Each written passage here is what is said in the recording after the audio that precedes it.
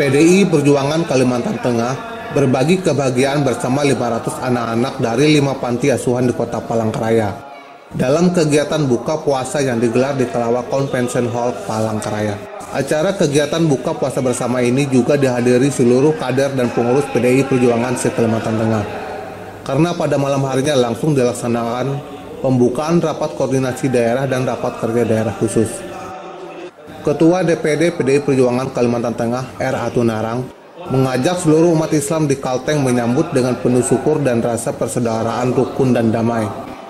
Bagi umat yang tidak menjalankan ibadah puasa, hendaknya tetap menghormati umat Islam yang sedang berpuasa, sehingga kerukunan kehidupan umat antar beragama yang sudah berjalan baik dapat selalu terjaga.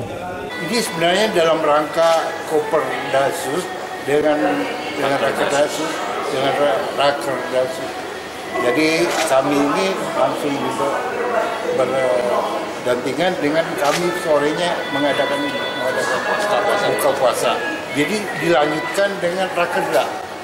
Dilanjutkan. Sementara itu Ustadz Ahmad Supriyadi dalam tausiahnya Sebenarnya ibadah puasa merupakan pembelajaran revolusi mental. Pasalnya ada tiga poin penting yang diambil hikmahnya yakni kejujuran, disiplin, dan kebersamaan kehidupan masyarakat di Kalimantan Tengah meskipun majemuk baik agama maupun suku dan ras tetapi bisa tetap bersatu dalam falsafah Huma Betang. Dari Palangkaraya, Agustus Permata TV mengabarkan.